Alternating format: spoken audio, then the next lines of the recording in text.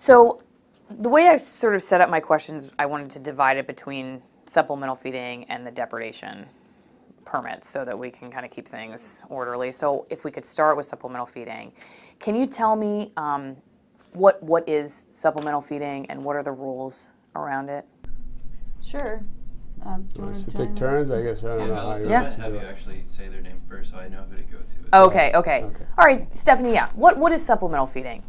Supplemental feeding is uh, an, an attempt to provide a diversionary supplement for bears. So when bears want to go into an area and they might be enticed to peel on a tree, they would go to this uh, feed that's provided so that they would not end up peeling on a tree and causing damage. What are the rules around what the feed can be? The feed is actually manufactured. It's uh, it's not something we're involved in as an agency. It's uh, through the forest timber commercial timber industry, and they manufacture the feed and have it purchased through a commercial entity. Are there any rules about what you can and cannot put in it? We have some rules related to um, not necessarily with feeding, but with baiting. We have rules that we restrict on the baiting, and uh, we encourage people to use, um, you know, to just provide natural resources out there and not feed bears to encourage them into areas. Anis, do you want to add anything to what Yeah, Stephanie so, said? so to add to that, the, the, the reason they use supplementary feeding is the time of year when the peeling is happening, there's not uh, very much natural food out there for the bears. So basically, they're limited by the choices of food resources. So then that's why they're peeling trees and, and you know, trying to get nutrients that way. So they put supplemental feed out there to, to divert them from eat, peeling the trees and eating them. Uh, as far as uh, feeding bears, uh, there are no rules around it. You can feed in those areas.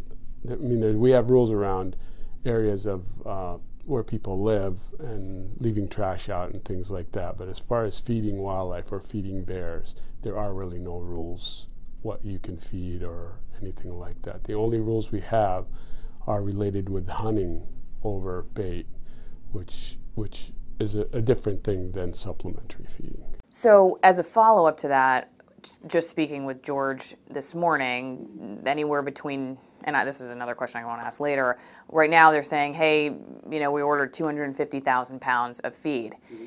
Is it problematic that the state doesn't have any rules around what is in 250,000 pounds of feed for the bears? Uh, Not, not really. I mean, the bears are, are very good at, at figuring out what's edible and what's not. I mean, they've evolved through eons of, of ha- testing foods and eating them, and so they're, if it, if the food isn't going to be nutritious for them, they're not going to eat it. So it, it's not something that we would have to regulate based on, unless it's a poison, and then we would see it. So I mean, unless it's harming the bear, there's really isn't a need to, for us to be, uh, you know, trying to figure out what's in this feed and and and, uh, regulating it. Yeah, I would add also they did several studies on what they were going to put in, in the feed itself. And Anis brought up an excellent point that this is a seasonal component. And so when bears are um, out in, in during the spring when uh, trees are growing fast, and those fast growing trees, they have a high sugar content, and that's what brings the bears into wanting to peel those trees.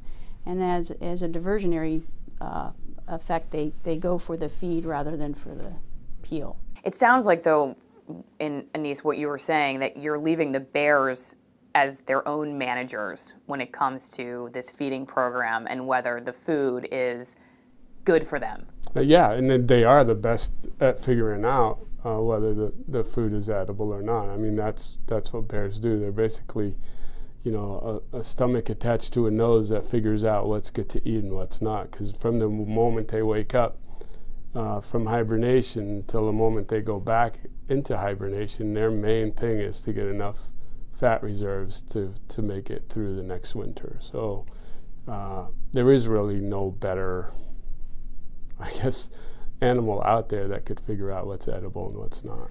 So, if I were to compare it to the elk feeding in Naches, that's a state program where you buy the feed and you know what's in it and you even know how many elk are showing up and people could watch it. It's totally out in the open. Why doesn't the state manage this program? Why did the timber farms do it? So we don't we don't do any kind of feeding of wildlife for uh, uh, to basically keep animals from eating crops. The reason we feed animals is basically in certain areas is to basically get them through the winter in some instances or things like that. I'm talking about elk. But isn't that what this essentially is? This is getting them It's- through a period of time so yeah. they don't eat a crop. You're right, it is. But there are things on the landscape they could eat, including the trees. So this is a way to divert them from actually eating what's what the natural feed is, and uh, it would be a very costly program for the department to to uh, administer, uh, given how much uh, timberland there is, and if the private industry is willing to take on that cost, it really uh, doesn't behoove us as a state agency to take that on because we're taking a cost on that really shouldn't be ours to take on. It's an industry that's growing trees for production, and they've figured out a way to keep bears from stripping uh, their trees by supplemental feeding them. So it, it's an issue that's kind of uh, the industry has decided to take on, and and they're they're bearing the cost. I don't think uh, a state agency should be uh, bearing that cost. It's a damage issue versus a, a population it's or a, a maintenance of a, a certain species on the landscape. Yeah. And and as Anis alluded to, the, the industry themselves has have agreed and have worked through this process to minimize the damage on their their product. And um, it, so in that case, it's very helpful for us that these industries are willing to take on that burden. And with the elk issue, the example you brought up, that's a deficit, different scenario. That's managing a, an elk population and maintaining an elk population or resource on the landscape. That is our mandate. We are, you know, natural resource managers, and so we should be, um, or at least, or at least considering Yeah. those options. Exactly. For, so, in, uh, I guess th- along with that, if we didn't feed the bears, they're not going to disappear. they're going to find something else to eat, it- and it's going to be usually trees or, or other things. So that it they, You're saying the elk don't have that option? they don't. They don't. It's it's uh, minimal. they're I mean, There's just nothing else yeah, to eat. Right. exactly. And and it's very limited when we feed animals. It's in very limited situations, and, and even the the the elk situation, uh, it's a very limited thing. We don't feed elk anywhere else but in that area uh, because of certain winter range limitations there. So so it's not something that a state agency wants or likes to do because it's not a it's not a way to it's not a, a valid way to manage wildlife by feeding them. Wildlife should be able to persist on their own. So why does it work in this case? In what case? In this case of the bears, This why case, is this valid? It's not. It's it's a valid way to divert them. It's not a valid way to manage the population. So it is a valid way to divert them from peeling trees. It's not a valid way to supplement feed, feeding them to perpetuate the population. With or without feeding, that population would be fine. Do so you it's a tool that's being used to divert them from eating the trees. Do you feel like the state has enough information uh, from WFPA about uh, where the barrels are, how much feed they're putting out there, what's in the feed? Are you content with the information you have about how the program is continuing? Uh, yeah, I, I, be- I believe we are. I mean, we we really don't need a lot of information about where where they're putting the barrels. I mean, that's really up to them. If it's working to divert them, divert the bears from eating the trees. Uh, the only time we're we're uh, asking them for any kind of information is when they're hunting in an area, and then that's that's a whole different story. That we need to know if they're using bait, where the bait is, and and, and those locations of those things. So as far as the feeding sites, it really doesn't matter where they're putting the supplementary feed, as long as it's in relation with the, where they're trying to reduce the damage. I guess I can I can understand um, what you're saying about the cost prohibitive nature of the state running a program like that. Um, I think, though, there are critics I've spoken with who would say, okay, fine, let WFPA handle the cost of it, but shouldn't the wildlife um, management, uh, you know, state wildlife management services basically, uh, should there not be greater information sharing or oversight about exactly how this program rolls out every year? In other words, why don't you want to know where the feeders are? Why don't you want to know how much they're feeding? Why don't you want to know how many bears they're feeding? Why don't you want to know the ingredients every single year and test it yourself? Why not? Okay, and I can answer all of those questions for you. The, we manage bears on a population level. At this point, the only thing we're concerned with is number of bears on the landscape and the number of bears harvested. Those are the only major, the major two things that we need to know to manage bears on the landscape. And we can get that information without knowing how many feeders are there, how many bears are feeding, and all the information you just basically uh, iterated. So we don't need to know any of that stuff to manage bears on the landscape. It, because we manage on a population level. We do need to know what bears are harvested. We do need to know that the methods being used to harvest are, are in, in alignment with, the, with what we put out there in rules and regulations. So those are the things that we're interested in. We don't, we're not an agency that's going to know everything about every bear on the landscape. That's not, there's no way any state wildlife agency can know what individual animals are doing. We manage on a, a larger uh, population level, and at this point, bears are doing fine in the state their populations are, are, are doing just fine, and there's really no need for us to be concerned uh, with, you know, individual woodlots and how how many bears are in that individual woodlot or whatever. So that, that's why we don't we don't need to manage on that small a scale. Do you have anything to add, Stephanie? No, I would just say, and you know, it, the timber industry does issue an annual report that we have access to. And so if we did need those points of data and th that type of information, or we had concern in a particular area, we could certainly work with them What's on in those it? pieces. The, What's in that report? report? Mhm. It usually uh, dictates like uh, how many, how much feed they had put out, and um, what season they, what time frame they were using it, and uh, the the differences and that the change over time. They have like a, an annual report, so they look back past history was there a change in the amount of feed needed this year, and what was their economic uh, output for this year, and that sort of thing? Has the state studied how this program affects those specific bear populations instead of looking at it from a statewide perspective? Um, because I, th- I know this sort of goes into the depredation program a little bit, but have we done any research about uh, whether what you're saying, if that's what really matters, that's what the state cares about, is that the population, generally speaking, is sustained. Do we know, though, in these specific areas where this is happening, have we done any research about that? Sure. So we do have ongoing research that's looking at, uh, not specific to these areas, but specific to populations within that include some of these farms and, and that, ha- that some of these tree farms that have feeding. Uh, so we have one site here uh, uh, on the west side of the of the divide and one on the east side looking at population levels. So those do encompass some of those areas. So yeah, we are looking at population levels uh, at those in, that that encompass those areas. So yeah, I mean we look at those type of things and figure trying to figure out what bear densities are uh, in comparison. Okay. Um, there's nothing specific to feeding, though. Right. That's what I was just going to Yeah. say. It's not. It's not directly related. This project isn't generated because Right. of feeding. It's generated for us to manage and look at populations. Population levels And of bears. Yeah. okay, so we don't have anything specific to this No. feeding program. No, we That's do not. Okay. Um,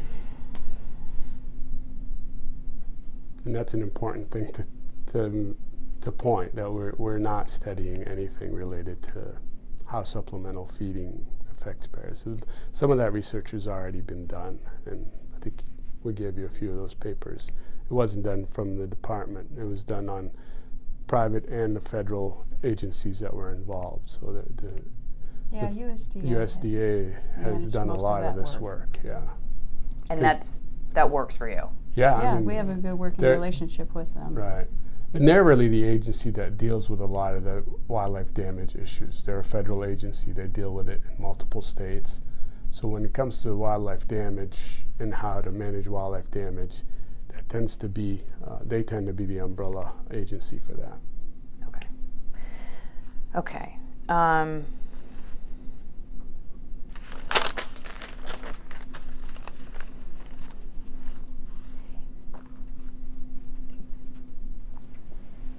you recently acquired or the last couple of years you required oversight of this program right it was under enforcement um, you created a subcommittee to look at uh, closely what could be done better what did you um, learn about areas for improvement that you wanted to focus on or that your staff is telling you you need to focus on We let you, you Okay, sure. that. Yeah, sure. Um, well, several areas we learned that we wanted to um, get a better understanding of who who was involved in the in the program itself. Um, because it was under different management, we didn't have necessarily all those contacts, and we had created a new position within our own organization. And so we needed the biggest thing we needed to do was build relationships and and bring those conflict specialists that are now under our wildlife program that will be helping with this this process in the field, bring them to the timber industry owners and let them meet each other and get to know each other and learn the landscape. That was the biggest thing that we we learned from that process. The other piece was uh, there are varying um, varying uh, viewpoints both within the timber industry and within our own agency on how we might want to work together and, and manage this program or at least um, have it be effective an effective tool. The other piece I want to add is that this is only one tool of many that we utilize for damage issues and so it was important for us to understand the value of that tool from our biologist's perspective as well as from the timber perspective.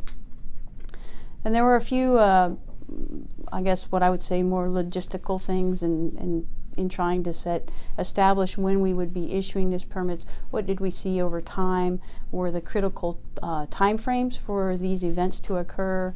Um, we also one of the key things was we needed to gather the data. We wanted to make sure we were getting the data from the whole program. And since we've taken it over, we've had 100% reporting. We've had complete compliance on providing us with the data we've requested. So what data is that uh, it's data we they have to the timber industry actually has to submit a, a photo and a request to uh, provide uh, to utilize any of the tools that we have available for them to mitigate damage on their property and um, we have to verify that. And through the photographs and through field visits and interactions with those owners we're able to verify yes there is damage. Yes this is uh, you know a significant impact to them. So we would want to be able to help them with their process. And you're saying prior to that there wasn't 100% compliance? I don't know honestly. I you can't didn't have the program. I can't report ex- exactly to that but I do say- know oh, Sorry, go, go ahead. ahead. but we did receive data. We had data. It was coming in um, I you can just don't know if it was verified right in these particular cases when you got information about damage did you go out and find that the damage was there So I didn't personally. We have field Mm-hmm. staff. Um, we work with the timber owners either through conversations and, and site visits, through photographs, and those um, other entities like that. We are able to verify that there's damage. okay so you're saying 100% of the time people were telling the truth they had damage somebody went out and looked at it and I was saying that 100% of the time we received what we needed from the timber owners for requests for verification. We were able to say yes or no, there was an, an incident there that warranted further action. And then when we did take further action, any data we requested from them in return was received, and that was 100%. Okay. Um, where were the rooms? I don't. I don't think we actually got on this though. Okay. Where? What did staff say they thought should be improved about the process? What were some? I know there may be a lot, but what, what do you feel like were the real hot button issues that um, when you brought everybody together and and asked them their opinion on it? What were what were the concerns? They wanted, um, so as an agency, we agreed that we needed to get a stronger hold on when these when these activities were going to take place, and that's what I was referring to. You know, do we feel that there's damage actually occurring? We needed to confirm that, or at least feel confident that there was damage that needed mitigation. The other piece was that uh, we needed to make sure that we had access to these areas.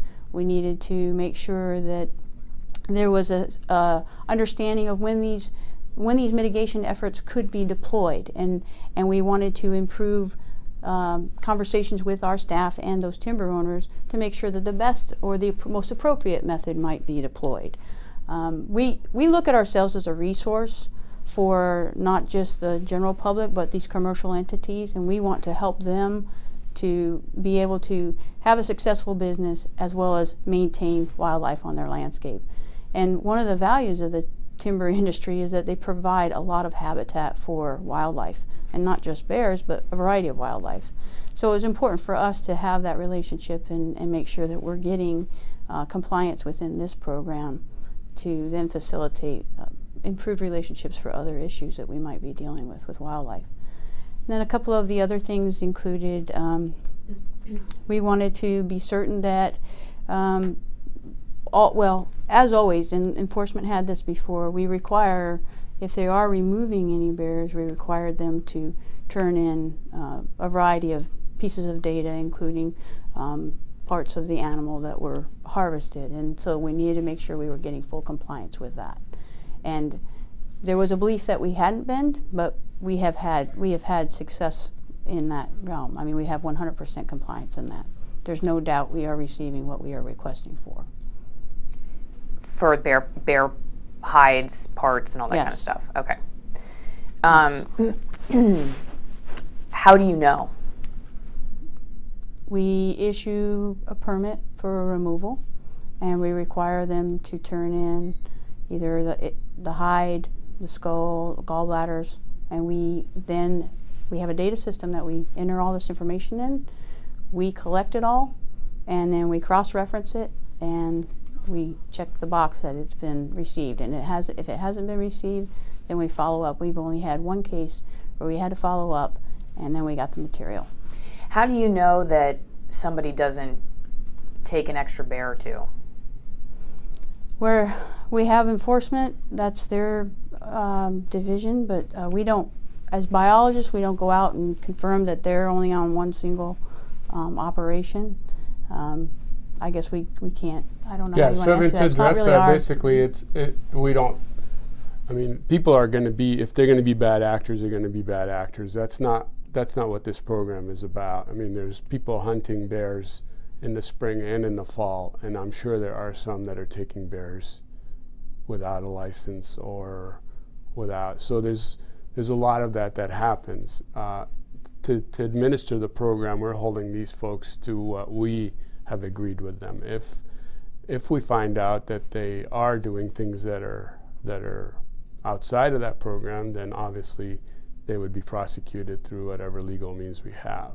So that's I think that's outside and beyond what this program is. Illegal things that happen are investigated uh, if we catch them. I mean, it's like any other crime that occurs. Y- you know, if you you can only uh, prosecute someone if you catch them doing the crime, and and we do have law enforcement uh, out there looking at these places and and checking. But obviously, we can't catch everyone that's uh, that may commit a crime uh, that's related to wildlife. And one other piece I would add um, on that side is that these um, participants are required to phone into our enforcement Right.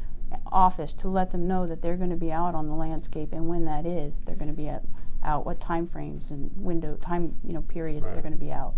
So our enforcement is aware; they're partnered with us on all, Right. all of this, and they're aware of what activities are occurring on the landscape.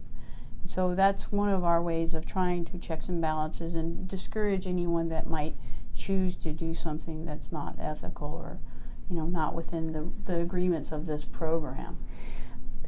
So um, I'm going to have to push you on this one a little bit because uh, I have several documents of hunters. I'll give you one name, a guy named. He's a prolific hunter with this program, and a couple years ago, um, he was uh, caught not using his tags correctly, um, and I don't know what else there may be on him because I only got a couple things, but I specifically saw an officer saying he should have his rights revoked mm-hmm. to hunt in this program. And he's still getting permits, even up to last year. So right. why? I mean, those are those are legal issues that have to go through legal system. if he's legally able to hunt in in our system, he's legally able to be one of the hunters in in that. So I mean, we can't really we can't really say what goes on through the. So once we uh, write someone up, they have to go through a legal process, and if that legal process still allows them to hunt, then they're legal hunters. They have they can be still hunting. So it's not we we can't. So even if they're breaking the rules, but a court doesn't find them guilty, but you know they're breaking the rules I of mean, the Bear Timber Depredation Management Program, right. there's nothing you can do. Exactly. I mean, there's laws we have to follow as well.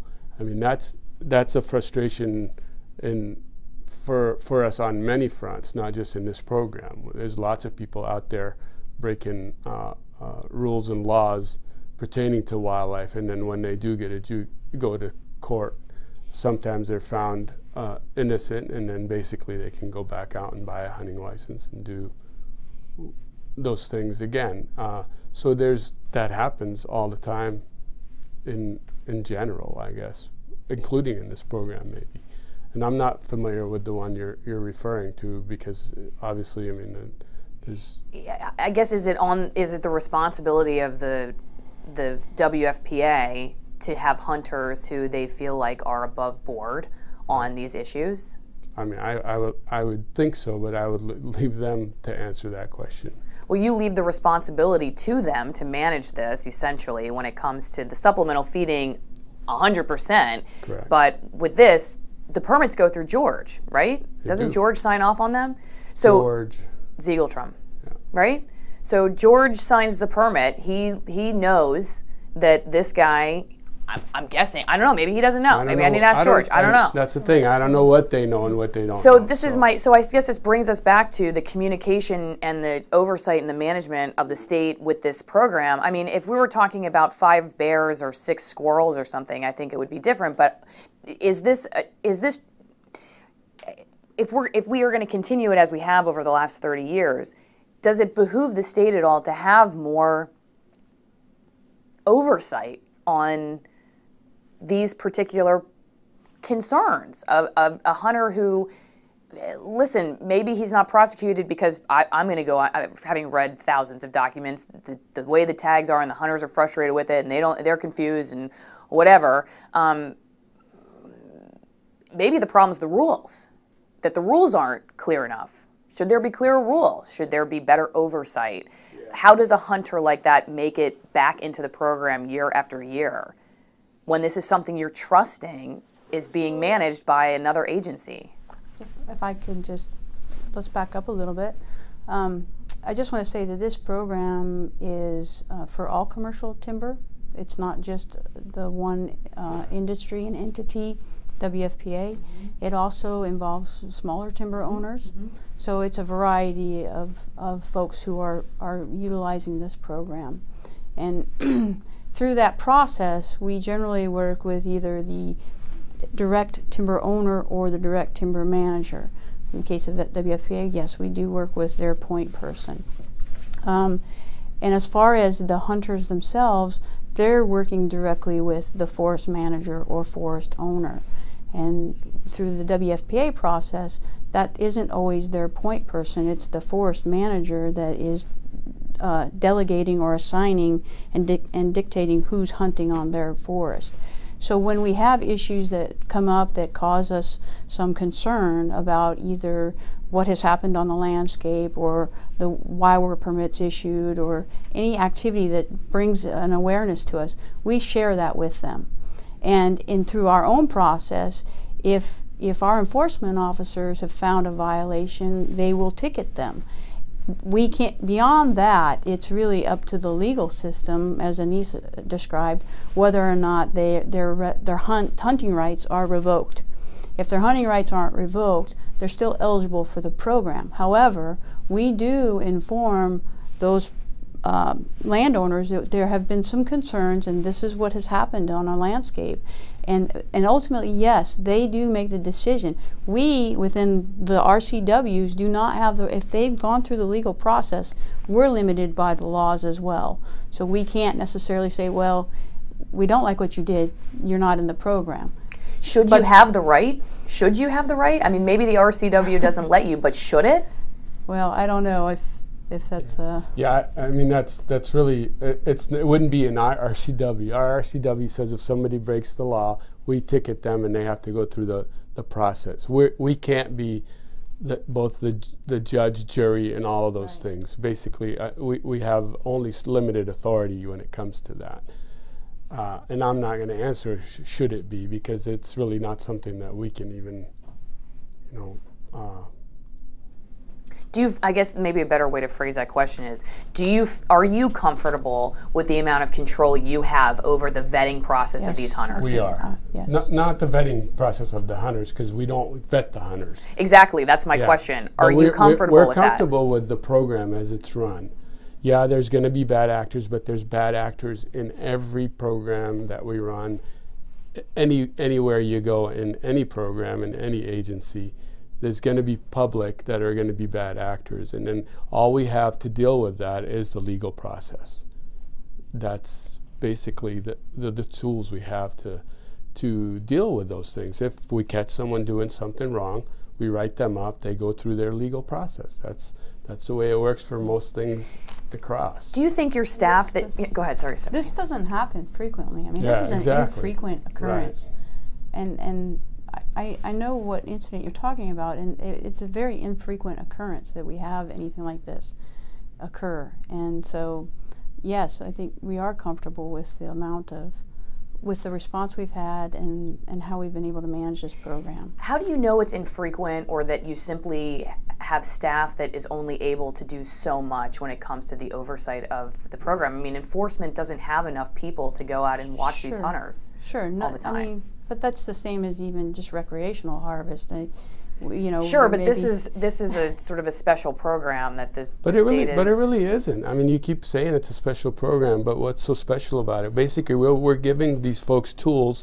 to use to try to re, to try to reduce their their timber damage. I mean, it's not. There's actually many, many, many more bears harvested through normal licensed harvest than there is through this program. So, to me, it would behoove us to be basically put more uh, law enforcement out there during the general season than to be spending it on this program because it's really a small, a very small number of harvested bears with this program versus the, the general hunting that, that, that we have out there. respectfully though, this hunt is special in that it happens on private land behind locked gates and there are feeder barrels out at the same time. And that brings me to sort of another criticism that I've gotten as I've talked to people which is do you think this is abating?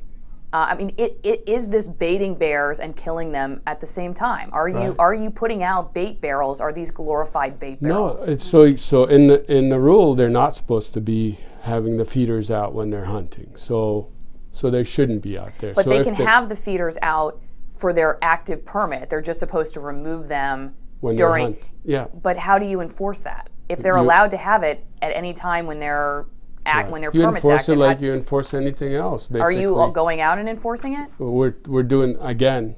We're checking uh, as our law enforcement is out there. They're looking around. If they have a hunting, so that our permits are set, and they we need to know we know the dates that they're supposed to be hunting. So yeah, we go out there, and if obviously we can't visit every site everywhere, we, we're limited by manpower. But we do check in those time periods if they're hunting that the bait barrels are not out there. Now I'll have to say we do also allow hunting over bait during these. So there is a baiting component uh, as well. So so they may not be they can't use those bar- those barrels with feed the feed that they use, but they can use different bait that we've identified to basically harvest bears in that area as well. So there is a baiting component as well.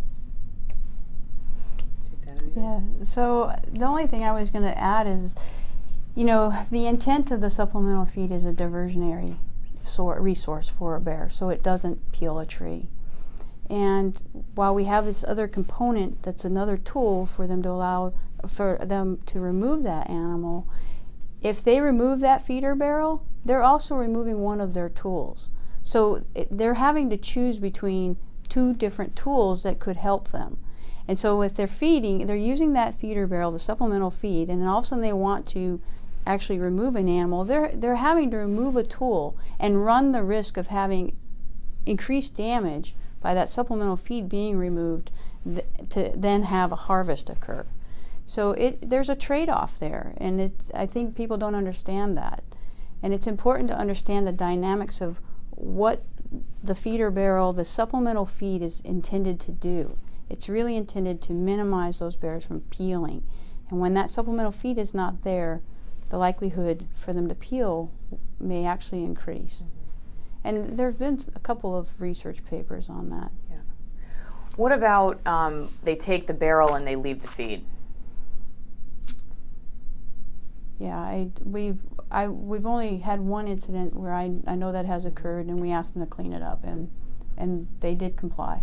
Did they not know that the feed was not supposed to be on the ground? We, we really can't say. I mean, they, of course they knew it, but we, you, you know, you're asking us questions that you should be asking the folks that are, you're right, that are actually doing the, okay. the actual stuff. Let me, let I me mean, all we can do is when somebody does something, uh, you know, that's not within the guidelines we've set, we ask them to, to fix it, and uh, hopefully they'll they'll comply, and we'll check if they complied, and if they haven't, then we'll figure out a way to to make them comply. Uh, other why so, but why they do it or why they didn't do it or why it could be there's we could you know okay. sit here and, and come up with a hundred different scenarios to why, but we really don't know. Fair point. So then let me ask it a different way. If you know somebody's doing that, why do they get to still participate in the program? Because there are lots of reasons that that, that could have happened. So uh, you know, did you they tell you what the reason was? Well, all we know is if if it's happened, we ask them to, to fix it, and usually they do. So what about asking them why that happened? Why they're leaving the feed out while they're hunting? And maybe we have. I just don't know if we have it or if they answered. I don't know how infrequent it happens. It's not something that that's you know that's that I'm going to get all the information on every place that that's out there. So I mean, you're asking hypotheticals again, and I, I can't really answer a hypothetical. Well, they wouldn't be hypothetical if the state was pursuing that information. I don't know what information I guess you're asking us to, to pursue. Well, eh, somebody leaving feed out, why they did it, I guess for me, I'm wondering I mean, why not ask the question. So What's the so why we ask? Yeah, and that's fine. That's a fair question. So we ask them, and they say we we, we tipped it over, and the, the feed fell out, or whatever. So they give us some excuse. Uh, how is that going to improve what we do? We just say clean it up, and they clean it up, and so it's easier to get to the end point than to ask a bunch of questions that they could come up with a bunch of answers for that that really don't get to the end point to what we're trying to accomplish. So yeah, we could ask those why questions, and we probably have, but their answer isn't going to be isn't going to make it change things a whole lot, I guess, except for they just gave us an excuse why that why that they. And you asked why would they be able to participate in the program, and the answer is that they complied with us requesting them to clean it up. And the program is something we've constructed. Again, those are parameters that we developed as a procedure for this, this program. They're not held to any legal binding agreement that they have to make sure that they clean up the, the feed. They, they do sign the, the permit that says they're going to comply with our conditions, but, right. but we have no course to go back and say, we're going to you know remove you from the program for five years. What we do is we give them the option to fix it. If they don't fix it, that's a different story.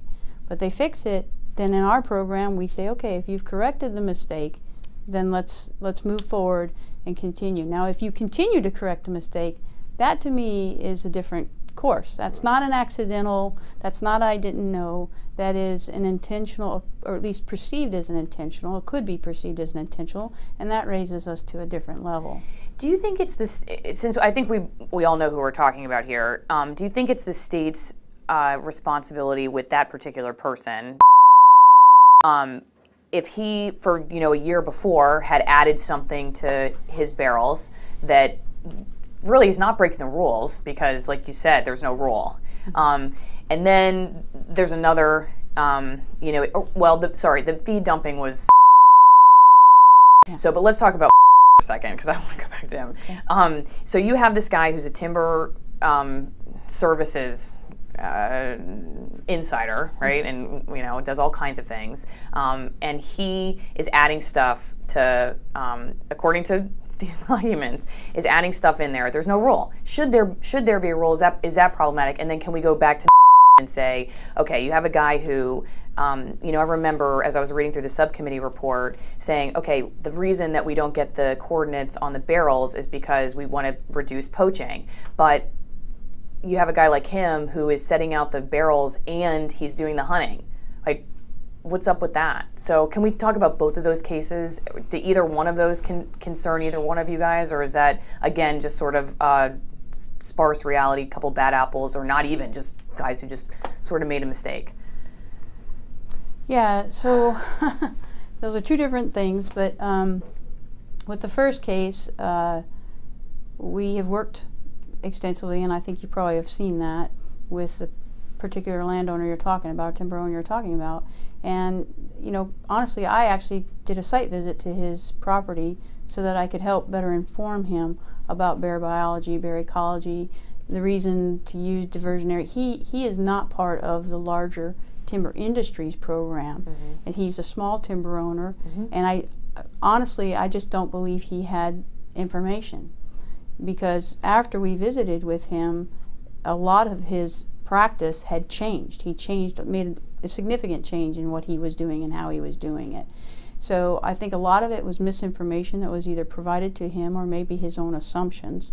And we've worked with him to correct many of those. Now, I don't know what we'll see this year, but I anticipate it's going to be much different than last year. The other en entity is um, it it is that's not something new that the the timber industry might hire the same folks to set up those feeder barrels as well as to um, do any other damage mitigation efforts which may include removal. That's not unusual. That's fairly common practice. And honestly I don't see that as a conflict of interest because of one thing. Then they know where the damage is occurring they know where things are happening and they can keep an eye on the pulse of that activity. If it's increasing and we're not seeing an effectiveness of the diversionary supplemental feeding, then I, if I were a timber owner, I would want my person to know that and be able to tell me so that I can then decide if I should be doing a different action. Mm-hmm. So that's not uncommon, and I mean it's even true for other cases. I mean, we might have people out there on elk fields doing hazing and maybe ultimately removing, but they're monitoring it for them and they're trying to do that diversionary or, or uh, uh, deterrent measure, and then it may end up to go to a, a removal, an actual lethal removal. Mm -hmm. Okay, so let's go back to the coordinates on the barrels, just so you have the chance to respond to that. Um, the safety concerns. What, what are what are you looking into when that is uh, brought up? And, and besides the safety, what are the other issues, and how are you addressing that? So there are concerns about our staff safety, obviously working working around those areas, and then also, um, so we're working with the timber industry to ensure that there is some consideration given so that we know where those locations are, and we can and ensure that our staff will be safety, but are safe. But some of the concerns we have are about uh, you know having those locations available and people going out and participating in illegal activity because they all of a sudden know where these supplemental barrels are, and of course where there's a supplemental barrel, hopefully there is a bear feeding instead of on a tree. So we're concerned about in, you know illegal take and um, in addition to our staff safety. So what is the plan moving forward on that? So you know we're working with the small timber owners in particular, but we're working with both timber owners. Small timber owners are a little easier to work with only because they have a smaller landscape. They're, the lands the lands that they have are much more manageable. Um, there's fewer uh, opportunities for them to use supplemental feeding, that sort of thing.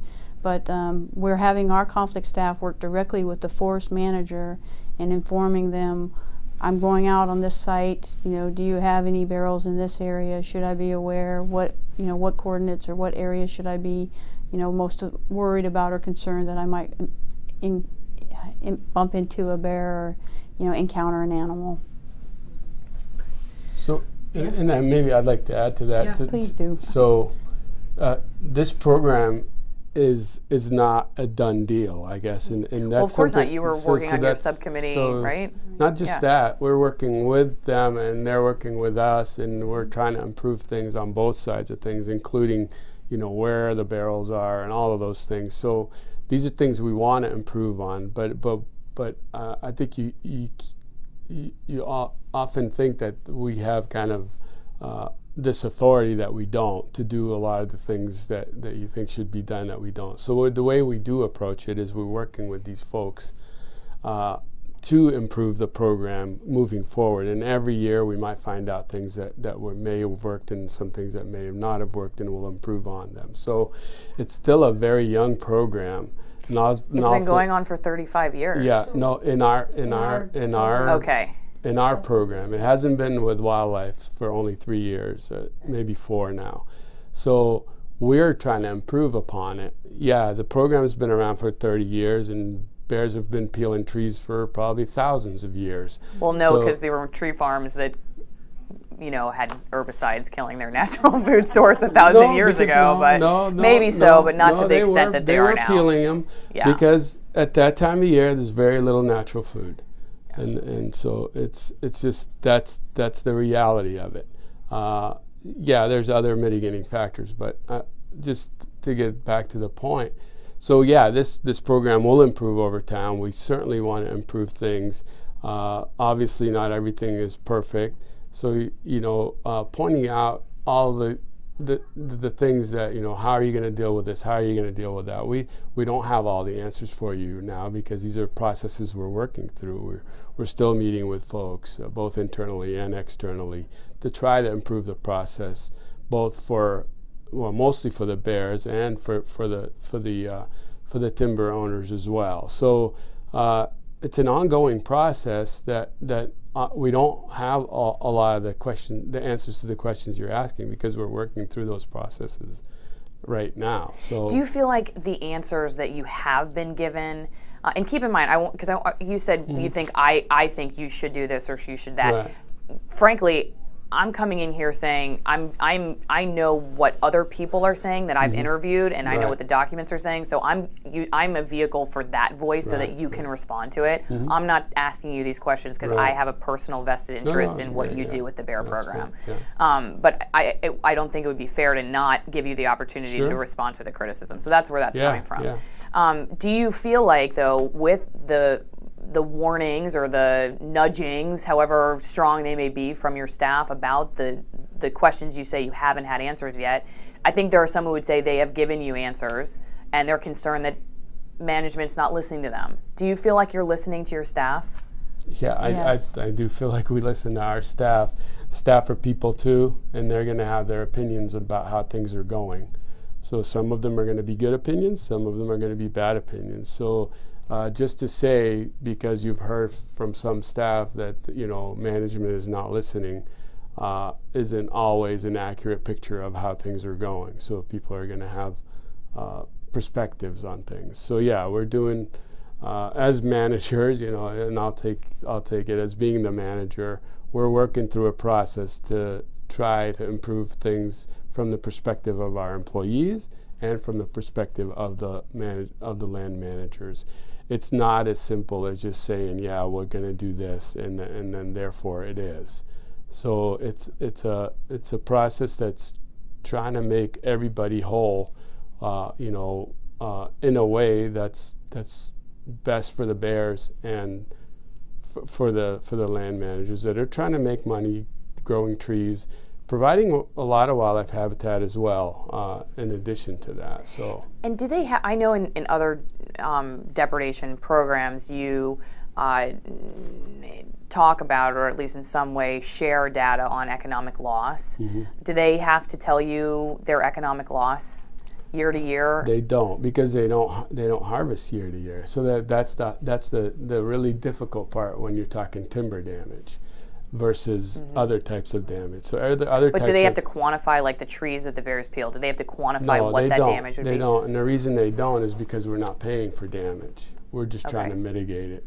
Uh, the the the programs where you end up uh, wanting that information, you're paying for the actual damage, like a crop or whatever. These this type of situation doesn't lend itself to that. Nor could we pay damage on a multi-million dollar, uh, you know, farm that that may lose I don't know whatever percentage of that. So even if they do still sell the wood, Mm-hmm. the timber from that, um, it, it they they should still be eligible. So in, in other words, if there's really only a minimal economic loss, they there's they should still be eligible to participate in the depredation program because there is some kind of Yeah. um, damage. There's some there is some kind. Okay. Yeah, so the, ba- the we base it on whether they have damage or not. Uh, we don't, we can't really know the extent of the damage because these farms are, you know, they're not harvesting for 40, 50 years, and and the damage occurs at a young age of the tree when it's 15 to 20, you know, well, 12 to 22 years old. Uh, so you don't know it's a cumulative damage. You don't know what the total damage is. So the best approach when you don't know is to mitigate it when you can and try to reduce it as much as possible. And that's the approach we've taken. Why do you get a permit based on historical damage and not fresh damage? Well, we, you do have to have fresh damage. You uh, can have it from the year before, Right. no? Okay, and, why? And the rationale for that is, like I said, I mean, these trees are vul- vulnerable from their time they're 12 years old till the time they're 25 years old. So if you had damage the year before, you can almost guarantee you're going to have damage the year after because that not only are those trees already been peeled and they could be peeled further, uh, but there's other trees right next to them that are the same age. I mean, in reality, we should we could give permits to folks that have trees within that that that age class because it's Without even yeah damage, right. Just give it to them. yeah because I mean basically you're trying to avoid the damage. Once the damage has occurred you're almost too late. If you want you want to be ahead of the damage not you know kill the animal or or or b- feed supplementally after it really does no good that tree's already damaged at that point So are you saying that's a better way to do it? Is to kill the bear before there's damage? not t- not certainly kill the bear, but try to yeah figure out a mitigating way. It might be some of the other tools, but uh, certainly killing the bear is one of the tools. But but yeah, if if you know you if you know that that's going to happen year after year, reducing the number of bears that could peel in an area would would be a way to to get ahead of it. So in this case, it sounds like then it's a it's a numbers issue for you, not a problem bear issue. Because I'm I'm curious Mm-hmm. how you know you're getting the right bear. Yeah, you don't. You don't. I mean, there's been some research done about what maybe what type of bear does it, and the, and the, and the data shows you know oftentimes it's it's female bears and all these other things. But you you hardly and males do it as well. So it's not it's not that clear. You don't really know. But if you have fewer bears in a, in a wood lot, you're they're le- you're less likely to see the the peeling happen. Do you get fewer bears when you put out a barrel of feed? No, but you but that's a that's a different way of dealing with it. You're diver, diver, diverging them from eating the the you have other food sources for them in that area. So that's a so so that's the thing. I mean, either you're you're giving something else to eat or you're removing bears. I mean, those are the two kind of conflicting tools that you have. One is a feed that keeps bears from peeling, but if that's not working, then you have to go to whatever other tools you have. Well, and I might add that the human presence on the landscape, whether they're successful at Right. or harvesting or not, the human presence has an impact as well. Right. I mean, just having more bodies out there, having more activity going on, it will disrupt a little bit of that behavior and, and it may actually have a. Yeah. And now we haven't measured that, but other studies have looked at things like that. And you know, human presence in general is a deterrent for, for Right. most wild animals. Um, you know, this. I, I don't know. I'm going to switch this real fast to this. Um, in the 90s, uh, voters outlawed hound hunting, and this is really, as far as I've been able to find out, and correct me if I'm wrong, one of the only places that, in times of the year, that you can hunt bears with hounds. Right? Is that right? Is it the only? You know, I wouldn't classify it as hunting. It's it's it's a harvest. It's a removal that may result in harvest. It's a damage event Right. that is authorized. We have the authority through our director to authorize activities that would then mitigate damage, and this is one of those. Right. So you don't classify this as hunting? No. No. Okay. Um, do you think the program then is transparent in that regard with the public after this vote in the 90s? Do you think those two are mute, are okay together? They ex- they exist in in fine plain view together. There's no no sort of concern that the the state in one uh, instance is going against voter desire. No, because I mean the law clearly states that we can use those tools for for these certain things for you know dealing with with management issues, uh, dealing with public safety and all of those things. So it, it's it's you know we've kind of gone through those rounds and, and have figured out that these are uh, measures that we can use in these situations. And uh, we use it for cougar as well when there's uh, depredation issues on livestock we use hounds to to do similar things to remove that cat or whatever. So, Why use hounds for these hunts? They're an effective tool. yeah, I mean, They're very effective. Yeah, I mean, basically, hounds. I mean, it's it's unfortunate that that, that tool was removed by that uh, legislation because it is really one of the uh, the ways that the, the most effective ways to to pursue and uh, harvest bears and cougars for that matter. So I mean, if you could have fewer people doing it and and remove just as just as many bears as as you needed to. So So you think, in some ways, the vote in the '90s made things worse? yeah, I, I do think so. I think it removed that tool from the toolbox uh, in, in general. You could have people taking care of their own things. Now we have to go through a, a very rigorous process to to permit people to do it. Okay. Why get two bears per permit? Why do you get to kill two bears per permit? I guess you know that just gives them a little bit more flexibility. You know, oftentimes if there's more than one bear on the landscape, instead of having to go through that whole process again to get another permit, it gives them that flexibility of taking two bears. It's just something we've come to when we're when we're dealing with it on a day in and day out basis. Uh, oftentimes, if there's you know more than one bear, by the time you issue another permit and all of that, more damages occur. It's more of an efficiency thing, I guess, to to to try to uh, provide, I guess, customer service to, to get to the issue quicker. So again, it brings us back to this being a numbers Correct. game, not a problem solution. Yeah. Okay. Um, Well, there's a problem solution. You're you're solving the problem with the numbers. well, yeah, but you but So- say you have a bear that's n- that's not peeling trees, and you just kill the bear. You kill that bear. Yeah. So it doesn't sound like it's a it's a very targeted problem Yeah, solution. no. It sounds like it's more like if we kill enough bears, then we'll just reduce the problem Yeah. by virtue of a numbers Correct. deal, not not by I, I that's that's the bear I want. Yeah, I'm and gonna kill there's, it. there's you yeah you're never gonna know what bears are peeling and what bears are not. So that's that's kind of out out as a as a solution. It's, you can't you know unless you catch that bear actually peeling, you're never gonna know. So I mean the the yeah the tool is coarse, but it it, it does reduce the the the damage. So Um, WFPA and a couple other people have said that the um, the problem, and you kind of mentioned this in Naches before, but that one of the main issues is um, mother bears with cubs, um, and what's the policy if a hunter has okay? So you have a permit for two bears, and you find you come up on a, a sow with two cubs. What do you do?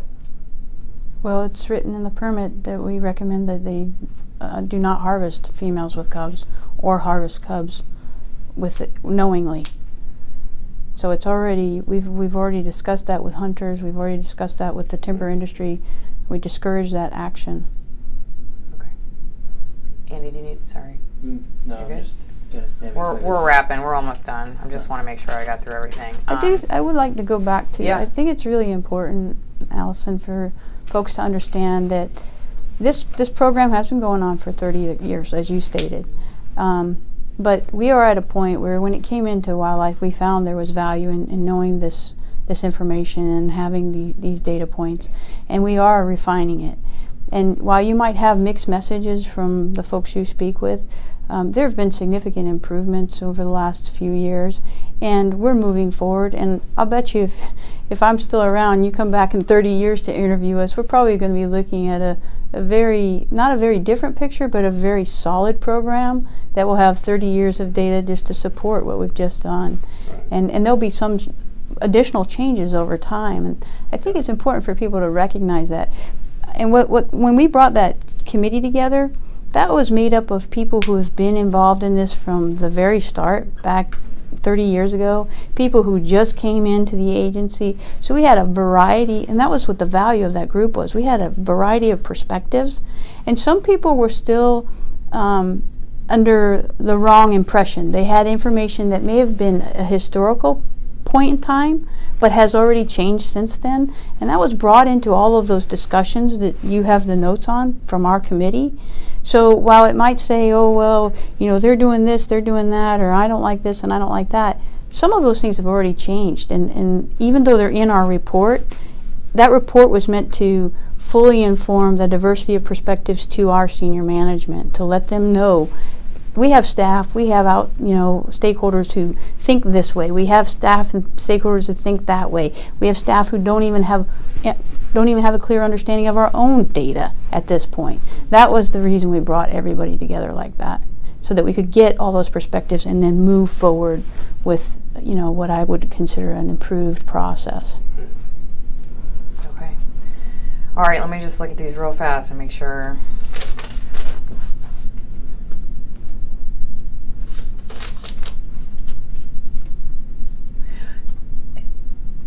Yeah, why? I don't think I, we touched on this, but I don't think I got a clear answer on it. Why does George approve the permits? Why does George Ziegltrum approve those? That's their uh, business operation there. That's how they've established it. I think it has to do with the fact that he runs the their animal damage committee, and so he actually manages their supplemental feeding program. He manages anything that has to do with wildlife or animal damage to their industry, and that was their that's their business practice. That it should go through him, and quite frankly, it makes it very easy for us to work with just one entity rather than 50 different or 100 different timber owners on a one-on-one. But if the state typically and other um, areas, when you're giving somebody a permit to kill an animal, you're you're doing that. Not in all cases. No, I no, okay, what are- another- what's so another There are case? depredation, uh, kill permits that we give to landowners on, on crop depredation that they can give to, to other people as well, so on the, Okay. on the crop depredation Where there's a middleman. side, Yeah. Right. Okay. Right. Okay. So you're approving the in that case, just like this, you're approving the damage, Right. not necessarily the hunter. Right, Okay. exactly. George is approving the hunter. Right. Okay. Or he's choosing. I mean, Choosing. not approving. That person has to be, uh, you know, somebody who can legally hunt a bear. So, Yeah. But yeah, he's choosing from whatever pool of hunters he may have. Okay. Yes. Okay. Um, I did want to ask. I heard that Blakely stopped supplemental feeding. Do you know anything about that? I don't, I, I couldn't comment on that. There are various reasons why some timber companies come in and come out of the program, um, and I, George would be the better response for that one. I, Are you aware that they did? I'm aware that there are a couple of programs that are re- coming out of the supplemental feeding, and I know I'm aware of a few others that are adding into the program. Okay. But So- no comment necessarily on I, I don't that. know, and honestly, that's not. We don't try to get involved in their management of that. That's really their program. Um, our program is the the damage permitting and verification and working with the timber owner on other mitigation efforts. Okay. Um, I know one of the things I read in the uh, subcommittee report was about silviculture and working with the timber farms to have um, different practices that would help reduce the conflict. Um, what, what does that include? What, what are you hoping the timber farms could do to to practice silviculture in a way that reduces their conflict with bears? Yeah, I mean, neither of us are silviculturists, so it's kind of hard for us to answer that question. There are certain things you can do uh, to reduce some of it, but n- not all of them are, are uh, always effective. So it's kind of a hit or miss type of thing, uh, like uh, pruning, uh, you know, different ways you, different stocking rate of stems per acre, tho- those type of things. But I, I can't really speak to it. I'm not a I'm not a silviculturist Okay. by well, any means. and it varies. It's going to vary on the size of the Yeah. the, t- the timber land, and as well as you know if the manager is, is interested in working on some different tools and techniques. We have a few small timber owners who have expressed interest in looking at some different ways to approach stuff, right. and so we'll be working. Our conflict personnel and our research people will, will be working with them on some different ideas.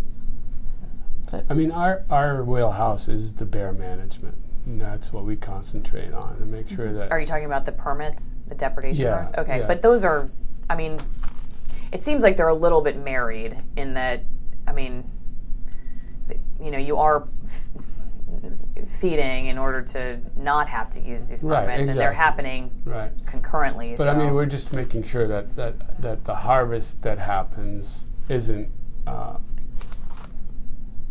isn't affecting the overall bear population. That's our, that's our main concern in this issue. And and while at the same time we're able to reduce the, the timber damage. What about regionally speaking when it comes to the harvest? Mm-hmm. Do we have data on whether in these pockets the depredation hunts?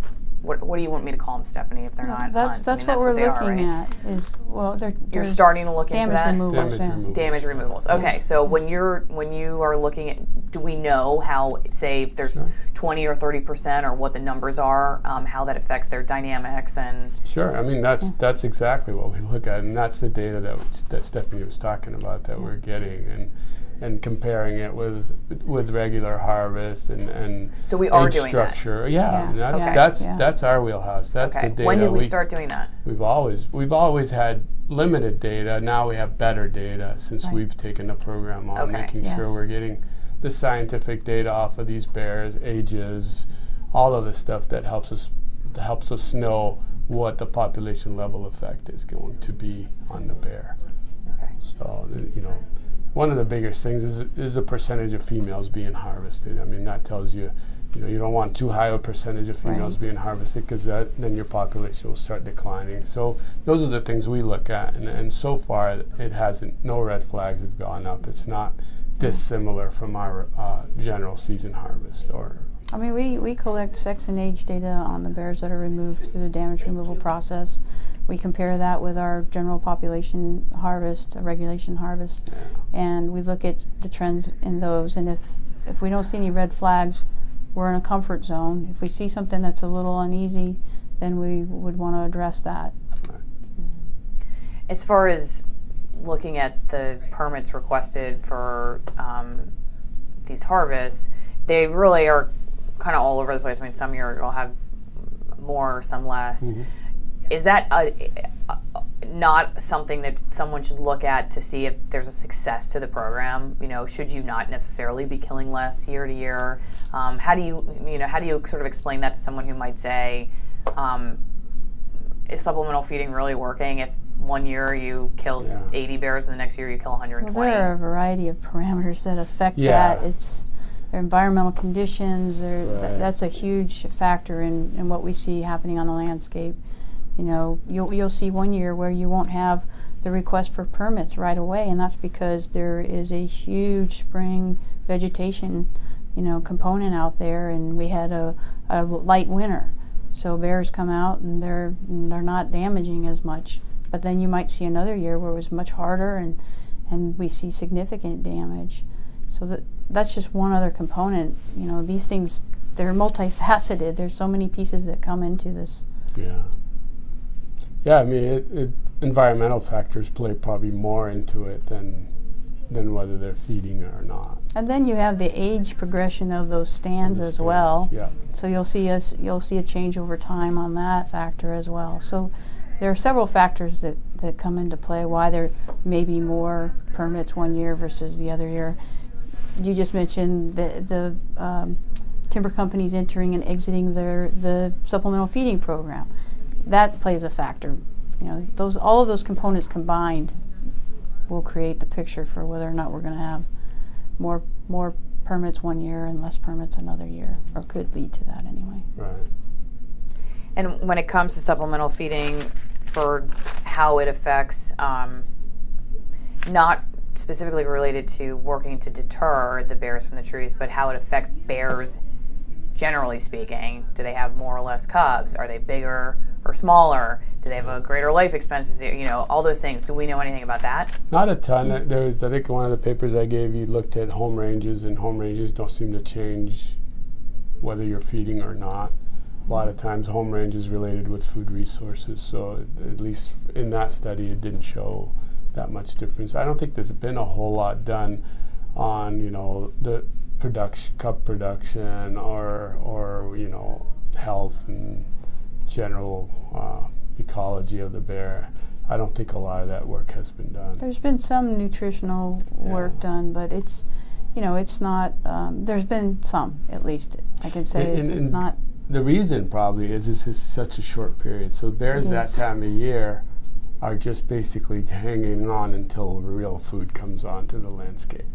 And when real food comes onto the landscape, then they're gorging themselves. So they they're very plastic animals. They can they they're you know they can wait around a little bit until there's good food out there, and that's when they're filling up. So it's just a short critical period that we're trying to get them through with this feeding. Uh, it's not a, it's not, I guess they're probably going to gain some fat, but it's not in in comparison with the rest of the year where they have natural foods out there. It's probably a very small piece. And and honestly, the fall, the fall resources are really important for Right. production. But we, when you and I talked on the phone that one time, I was asking about when they are breeding, and they're breeding right when you're feeding them, right? No, No, they're breeding- I thought you said they were breeding later. this They spring. breed in June usually, late, late May, early June. Okay, well that is that by is that when the supplemental No. feeders. Are. George just told me it's May and June. So the supplemental feeds are, you know, mid-April, but usually May, June. The breeding occurs June, July. Yeah. So I mean, usually it's after that. It's when when things are good on the landscape, when there's Yeah. good food out there, And the breeding, like I said, uh, uh, it- because of the biology of the bears, they don't have to be in prime condition to, breed. breed, yeah. They have to be in prime condition to give birth. And there's a difference there, and that's why there's delayed implantation and all the things that that we talked about on our phone call. So they breed. If things are good, then they implant, and if things are really good, you know, most Okay. of the cubs will survive. So it's it's And a- that's why the fall, yeah, the the fall, fall- resource, resources are really critical for I see. bears. right. Okay. So that's that's why it's that that critical time period in early spring. It's basically they're just hanging on till till s- the real food is, Right. is out on the landscape because uh, you know there's way more resources out there on the landscape in general uh, than these little pockets of, of feeders that, that that these folks are putting up to divert them from eating. So I mean that's kind of what the bears are waiting for is when berries and mass crops start showing up. What's the cost to the state, um, generally speaking, year to year, to you know whatever anything that's associated with this, whether it's writing the permits or forcing? Any idea what what it costs the state every year to deal with this? Not really. I mean, I mean, it, a lot of it is is stuff we're doing anyway. I mean, it's just we that's we have biologists already out there doing a lot of this stuff. We have conflict specialists dealing with one thing or another. Writing so- the permits. Right. Yeah, I mean th- that's Yeah, yeah, that's a Couple a very small. No, not really, because they're dealing with other things other times of the year. So Uh-huh. the bear component of it is just plugged It's into just that. What about the subcommittee that you put together? Was there a cost associated with that? I mean, certainly Well, there was time. Yeah. Uh, Sure. How Okay. much time? So I, I don't know Well, how we many met- times did they meet. Yeah, we met quite frequently, and there's travel expenses for that. Um, I think that was in the report. If I remember, we, we submitted a Was little piece in in the that? report. Okay. I don't. Too Rem- bad I don't recall off top Yeah, I of my don't head. mind. I mean, but there but- was a cost, but Yeah. that's not undif- That's not any different than what we do with any other program. I mean, if Yeah, we sure. we Yeah. look at what we're doing with wolves, Yeah, you know, we no, I know. That's what I know. Yeah. That's way out there. I know. Yeah. No, I'm just curious because I just Yeah, wanted I don't. I couldn't give you an exact number, but certainly by hosting that subcommittee and trying to pull all those ideas together, yes, there was a cost, but there's also a value to it. Sure. We we ended up with what I think is an, imp- an improved process, a, a more streamlined process, uh, you know, and and better data collection. From 2015 to 2016, what, what were the major changes? Did we? I mean, did anything change in the way you Yes. the rules? What rules changed? So we um, tightened up the boundary for the pursuit From from five mile to a three mile Mhm. boundary, and that was based on some of the data we had collected. Um, we did allow retention for at least one harvested animal. We also expanded the ability to use bait for the master, the uh, the hunters, that would be boot hunters. okay, so you can retain one carcass. Is that what you said? Yes, Okay, because I remember you're reading like all the arguments If you're- about if do or you're- not do it. So anybody that goes out on these can who has the permit. a boot hunter A boot may, hunter. may retain Right. one full Okay, carcass. not a hound hunter. No. The houndsmen are still required to turn in all galls, hides, and skulls. Why is that? Why different for them versus the boot hunter? There are more people involved in those hunting parties, Mhm. and just it's just been a standard practice. It still allows us some accountability for that practice. And it may change through time. I mean, like I said, we're we're still kind of working our way through some a lot of these processes and what makes sense and what doesn't. So I mean, it's a, it's an er- it's a process that hopefully will get better with time, and that's that's what we we want. I, I do know the hunters, eh, and I don't want to say the hunters like it's a monolithic group, Mm. but you know, some of them feel like the process has been confusing for them. Um, that they don't, you know, maybe they don't necessarily want to be a poacher, but um, the way it's all, you know, getting it to lane and down at Centralia Fur and Hide and you know, what tags you put on what thing and Mhm. um, not getting them from the state in a timely fashion, but the foresters tell them to get out and go kill the bears. Is there validity to those concerns some- from the yeah. hunters? At There's some, some level, yeah. yeah. I mean, we're working through to improve those processes as well. I mean, everything we do has to balance, you know, how much, uh, you know, uh, the, you know, the value of it versus, you know, the, the making sure every, everything is done right and have the right permits and all of the things. So uh, we're just trying to make sure that, you know, it's it's good for everybody, and bears included. So. Yeah, it's an important tool for managing these damage issues, and so we're cautious and, and really conscientious about. We have various stakeholders involved. We have the hunters, we have the timber owners, we have the general public who want to see bears on the landscape. We have our own agency staff, and so we're trying to manage a program that is going to fit all of those, and while maintaining a decent, healthy resource on the landscape. And uh, all of that, you know, those those questions you're getting or concerns you're getting, all of those things are still on the table. We're still working through all of those pieces Yeah. and trying to improve as we go. You know, honestly, we, re- we send out the permits via electronic mail now, and it never used to be that way. So now they get the permit. Yes, they're not getting the tag, but it used to be that they didn't even get the permit that way. So slow process, you know, you Right. chip away at things and you finally get them to shape you're looking for. And so that's where we'll get there. Okay. The depredation kills are not included in the statewide harvest numbers for bears, are they? Or at least not, they're not the ones that I can access when I'm online looking at. Right. That's correct. Yeah, that is. Why is that? Uh, well, there's a couple of reasons. Because in the past we weren't getting those. I mean, it's only been a year or two since those were coming in uh, I guess, all 100% of them coming in. So we wanted if to add them, you know, would have been. Uh, I guess now we can. We have the information that's good enough. We could probably add that information. We do it, you know, and, it, and we try to put on our website just the, the sport harvest. So management stuff we don't al- always put on our website. Even the cougar management stuff we don't put on our website. So Do you Yeah. include it though when you're talking about your managing the wildlife Yes. population? You, so you include so it it's for your own included state. in our status and trend reports. Uh-huh. It's it's stated clearly in the status and trend Yeah. report. So we account for it at that level. Our regional staff, the district staff, they account for it in when their reports and they're assessing populations in their areas.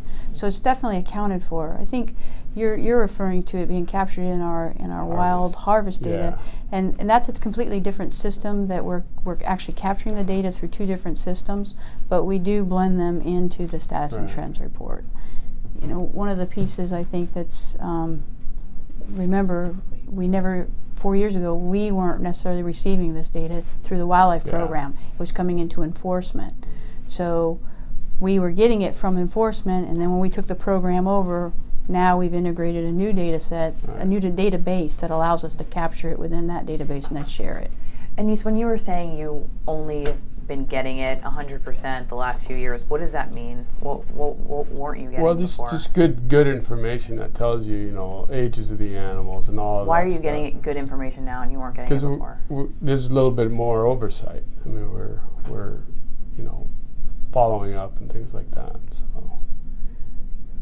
Can you be more detailed about that? I'm just not really. I mean, we're just we're just making sure the information's coming in the way we want it. so it wasn't coming in before that. It's hard to say whether it was yeah, coming in we, or not. we don't know. That's the thing. I'm But just we- trying to understand what Yeah. the process, what has changed about the process that you you know you're getting more than you were before. What what did you change about your process? Well, we created a, a central data system for that, and we have staff that are dedicated to addressing these issues specifically. I mean, before when enforcement had it, it was one person managing the whole program. And so now we have different levels of checks and balances. Did you turn in your report? Did you turn in your tag? Did I receive the, the parts that I should have received? So we have several steps through the process where we can say, we don't, we don't see this here yet. Let's follow up with them. Okay, it's here. And in most cases, it's very little follow up, to be honest with you. So Yeah. the past data is probably as accurate as it as this current data, but we can't say for we sure. We can't say. That's I guess that's what I meant when I said we didn't know how it was collected before. We know how it's collected now. So we have more, I guess, uh, confidence in it. I think my only other question, um, unless you guys have something else you want to add, is there are those um, who there are those who would criticize this program as a fraternity of hunters who get to run their dogs still after the outlawed hound hunting in the 90s. Um, one said to me that the attitude among most foresters is uh, the only good bear is a dead bear. That if there's one on one end and one on the other, two bears per permit, what happens in between is is is um, really not information that anyone's interested in. What do you think about that criticism or that attitude? I mean, is that unfair towards this program, or is there a valid concern there? I think it's a generalization, to be honest with you. People say what they want to say and what they believe, but I can tell you from what we've seen through the data collection, it's not we get one bear on one end and we get one at the other end. It's there's no clear pattern like that. It's I think it's just speculation, to be honest with you. I mean, people are going to have their opinions, I guess, but I think the program is running as probably as best as it ever has. I think we are at a point where we're really seeing what is going on on the landscape and being able to assist producer or timber owners and assist and make sure we are maintaining the data so we have what we need to ensure there's a healthy bear population out there. Yeah. Yeah, I mean, I, I really, I don't know that I have a ton to add. base, I don't. I You don't have to if you don't- Yeah, no, I, I don't. Th- I think. I mean, as criticisms go, it's a criticism, but is it is it valid? You know, it's it's certainly somebody's opinion, and that's that's that val- Yeah. validates it right there. That's that's the way they feel. Uh, do we have concerns? I mean, we, we certainly have concerns, but we're trying to address those concerns. Uh, are we overly concerned? No, we're not overly concerned. We, we're just working through a program. I think using hounds as a tool, you know, supplemental feeding as a tool, all these things that we're using are tools to try to get to a point where, uh, you know, people can grow and harvest trees and we can have bears on the landscape all at the same time. And that's our objective is both of those things have to occur. Uh, and uh, obviously we're going to be more on the bear side of things because that's our charge is to protect the bears and make sure bears are you know perpetuated uh, into the future and that's that's what we concentrate on and I think I think we are doing that I mean that's that's our main objective is it, What is the percent? Any idea of the ones killed in the the Uh, so it just it just depends on what data set you look at, whether it's the, you know so that it's a big data set. Uh, if you're looking statewide, it's a small percentage. If you're looking like what? Uh, so it's so Less than uh, so 10%. there's hundred bears Yeah. roughly killed uh, through this program per year. Yeah, there's roughly thirteen to fifteen hundred that are killed statewide. so minimal. Right. Yes. Yeah. mm, statewide. Right. So, and then in your little pockets, say, how do you even look at that regionally? Yeah, I mean, you Are can you look. looking at You those can like look a at them by like you yeah. You can one? look at them by GMUs, and and it, it it's a little bit higher percentage, obviously, when you look at it at the, in that sense. You know, it's it could be you know up to, and I, I don't I don't have the the data right there in front of me. It could be up to twenty percent, Right. but uh, of the total harvest. Uh, But that doesn't concern you. no, because I mean we are point. counting that as harvest. I mean it's not like it's it's above and beyond. That, so we're taking that information. We're looking at ages of females and all of that stuff. We, the percentages and all of that. Uh, it- yeah, it doesn't concern us. I think we we under harvest bears probably in the state as a whole. So it's it's not uh, on a, a population level effect. It's not a concern at all. Uh, it is a concern that things are being done properly, and that's kind of what we concentrate on is making sure that those folks are held to the standards that we set Yeah. set forward, and we do our best to make them live up to those standards. I do have one last question that I thought of. You know, as I remember a couple years ago, um, doing a story about this guy in Renton who uh, left his trash out, um, and, and a bear, a mama bear with two cubs, got in it, and then um, then he decided after it bit his dog's butt that he was gonna just put dog food out anyway. Baited his son was waiting in the boat, and he popped it right, and then left the two babies. Um, I learned through that that if you are warned by an officer to um, put your garbage away, that um, and you don't, that you could go to jail and you can be fined, serious offense.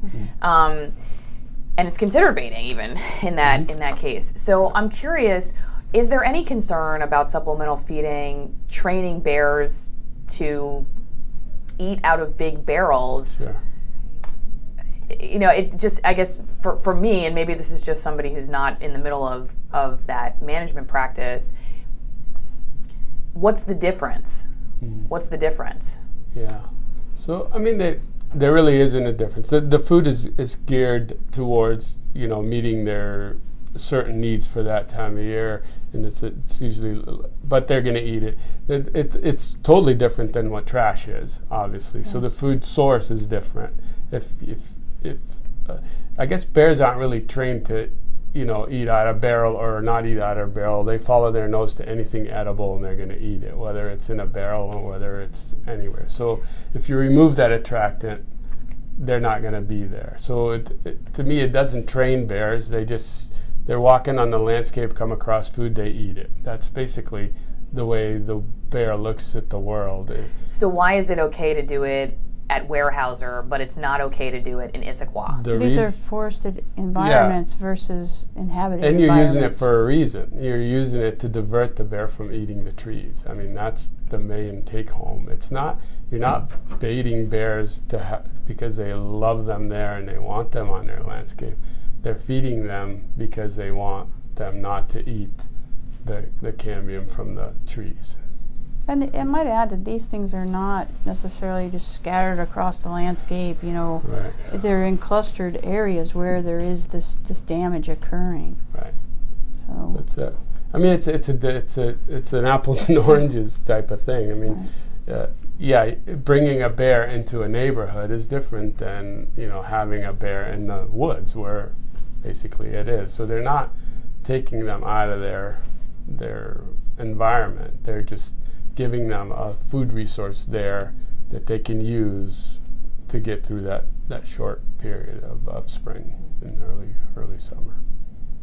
Do you think the public should be supportive of this program? I, I, I do. Yeah, I mean that's basically we're we're trying to find a way where uh, folks can still grow timber and harvest it, and bears can still be on the landscape. That's what we're trying to accomplish with this program. And if uh, unless you're opposed to timber or you're opposed to having bears on the landscape, you should support that. I mean, it's it's it's not an either or. We're trying to make sure both are able to be there. So Is there anything else that I didn't ask that you two really feel passionate about that you want to be out there?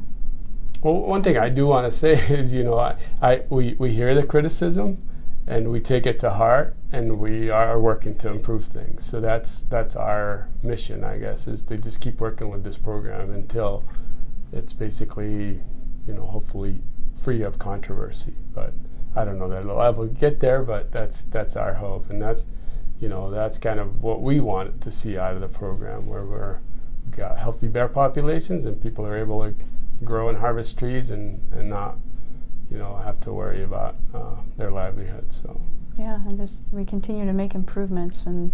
Yeah. You know, I recognize a lot of people have been familiar with this program for years, Right. but it's really it's got a new focus on it. We've brought it into the wildlife program.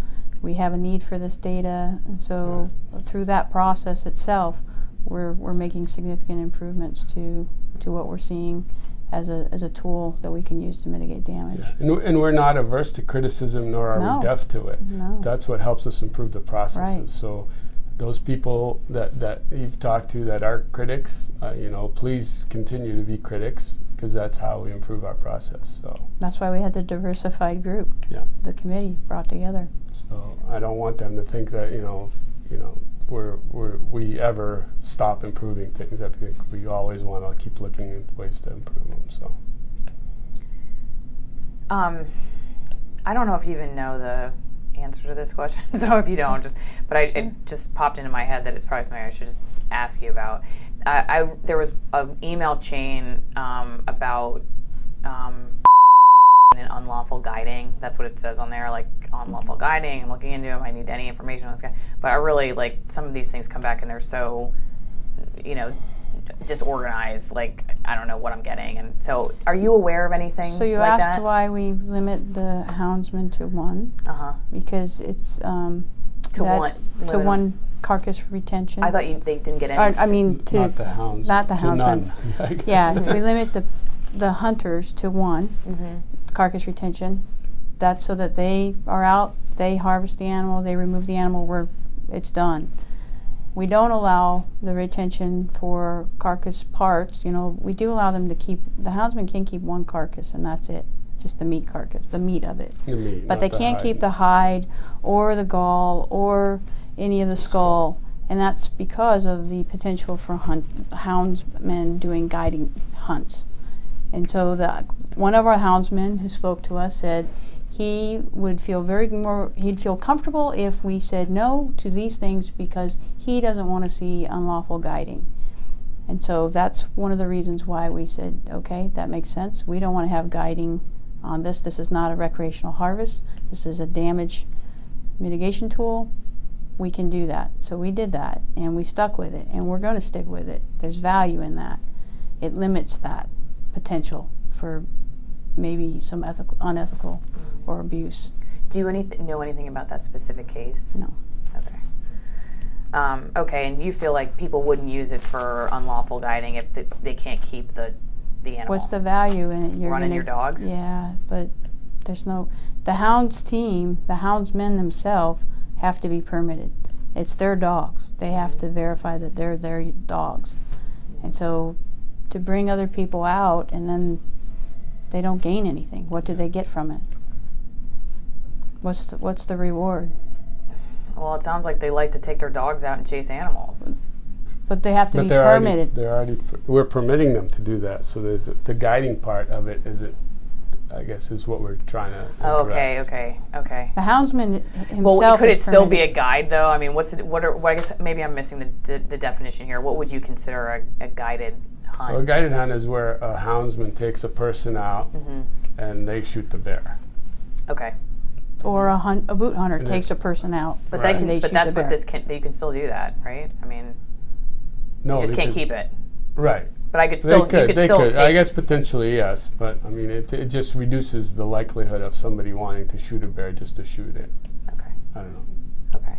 It's most hunters are not motivated that way. I'm sure there's a few that are, but It's a lot of effort. I mean, this is not like you just take your dog down the street and you know go to the Yeah. nearest neighbors.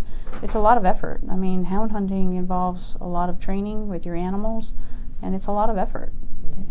So, for a hunter to want to just go out there just to be on a hunt, it's very it's very rare unless they're getting something in return. But there's no other option for them to be a hound hunter for bears at this point in the state. Well, they're But not the- a hound hunter. If they're they not. don't own the hounds, they're not a hound hunter. I guess Right. is, is what we're saying. Okay. These are just people who. Okay, I see what you're saying. These are people who are coming without Right, dogs. Right. Right. Yeah. Okay. Right. Okay. Okay. So they would just be hanging out with people Yeah, with dogs. you're exactly. Exactly. Yeah. Okay, That's okay. where the Exactly. I guiding part comes in. And if you want to pay to Okay. run around with a guy, Got it. So that's why one of the houndsmen said to us, you know, if you allow a, allow that opportunity, you might encourage people to do things that they we wouldn't want them to do as ethical Right. houndsmen. exactly. So limit that, and we weren't inclined to do go that direction anyway. So yeah, we were fine with that and appreciated his input. Um, Anis, you said when we were talking about the numbers, and you said we probably under harvest bears in the state. Right. Um, and I and, and reading through some stuff from way back when, I remember reading about the effect of the hound hunting ban, and you know, what did that mean? And Right. um, so, do you, I, the reason I'm bringing this up is because I I have heard from people that there's not there's not necessarily um, as much oversight put into the program as you would with wolves, for instance, because those are an endangered species, and we have a lot of bears. Does that does that the fact that we have bears in the state and they're not endangered um, make them less of a priority for management um, oversight? That we would put more effort into uh, data sharing or managing it, um, more sort of you know be more detailed or more sort of hawkish about it if there were less bears. No, we wouldn't. It doesn't make them less of a priority. It does give us parameters that we can work within, though. It does give us wider parameters we can Right. work within. So, yeah, I mean, we, we monitor uh, bear harvest within our game management plan that we have to be within those parameters. And as long as we're within those parameters, we have. So you so basically, if you have a population of twenty five thousand, uh, one or two additional bears harvested are going to be less of an effect on the population than if you had ten wolves. One or two wolves to ten wolves is a big number. So yeah, it gives you more, uh, I guess, comfort that you're not over harvesting, uh, but it doesn't make them any less of a of a priority. We all of the wildlife we manage have similar value to us, uh, and we manage them accordingly. We have guidelines that we manage them by, and, and we, we stick to those guidelines. So we're not more hawkish on one versus another. We just manage them differently, but but we stick to the to things we manage them to. I promise this is my last one. Just- stacking bears stacking around the feeders. One eating it and the others peeling the trees. Um, that's un, un, just the final thing that i thought of that i wanted to make sure that you guys had the opportunity to address. Does that is that a problem from what you've seen? Um, is there concern that the feeders are bringing in extra bears that don't necessarily get a chance to eat at the buffet table and they're instead peeling trees? Yeah. I, I guess I don't really have enough information to say. Uh, I don't know that there's been a study done on that to, to say for sure. Could it happen? Yeah, it could. But uh, I mean, most of the studies show that when you put a feeder out, you reduce peeling. So, uh, based on that information, I would say that, that that's not as likely. Uh, there's a lot of social behaviors that happens around feed sites with bears that actually probably prohibits that from happening. Uh, so I guess I don't know. I, I don't know the answer whether it's a yes or a no. Like most things in science, it's probably a maybe.